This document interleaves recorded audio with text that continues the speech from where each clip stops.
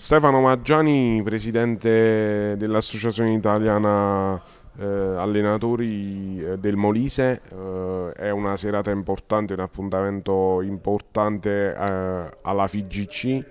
Eh, come giudichi eh, questa stagione per voi?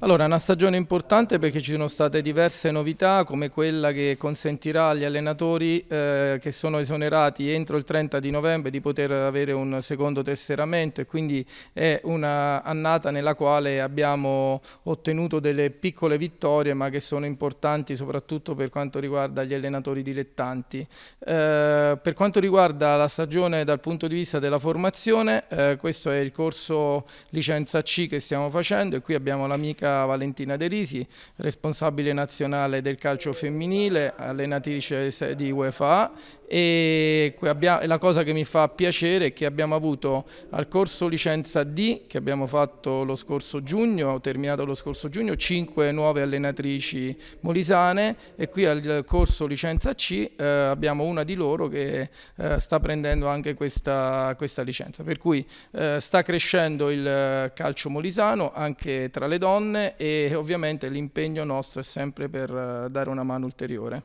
Una, un grande lavoro svolto nel tempo dall'Associazione Italiana Allenatori che tu rappresenti a livello regionale, quali sono i prossimi impegni? Allora, i prossimi impegni sono sempre quelli di fare nuovi corsi di formazione, abbiamo in programma un licenza D e un corso per allenatori di calcio a 5 e futsal, eh, probabilmente anche un corso per preparatori atletici, insomma tutto ciò che riguarda eh, la formazione, poi avremo a Rimini, eh, abbiamo come anche quest'anno il coach experience, dal 6 all'8 giugno saremo lì con i nostri allenatori eh, per svolgere i corsi di aggiornamento e attività di convegno eh, con tutti gli allenatori di Serie A, quindi allenatori professionisti e dilettanti che si ritrovano in una kermesse di tre giorni e il Molise, come lo è stato anche l'anno scorso, sarà protagonista. È un Molise che eh, grazie a questo lavoro che facciamo in simbiosi col comitato regionale FIGCLND, quindi eh, con Piero Di Cristinzi, con Santina Pompermaier e con tutto lo staff regionale